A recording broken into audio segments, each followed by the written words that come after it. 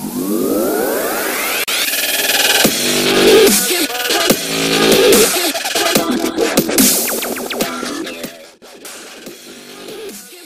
The Jaguar F-Type hasn't adjusted its wetsuit tight scalp much at all since it was new in the 2014 framework year, it's just about perfect to our eyes, especially in coupe form. The F-Type has a stunning figure that's sure to age gracefully. It provokes indications of the classic E-Type while being completely original and thoroughly modern. The tall front end wears a large, non-oval grille let accents sharpen the nose, round taillights pass a bit of a vintage aesthetic, the lines along the side flow organically, the roofline of the coupe specially describing streamlined, designed by nature themes for the eye. Wide haunches are talking about ability and capability. Door manages, there aren't any, at least not in the traditional sense. Instead they're inset, and pop out merely as the ELB Prada door with the press of a button on the key fob. The interior of the F-Type is clearly sports car themed, with the functional look belied merely by the plush swathes of leather.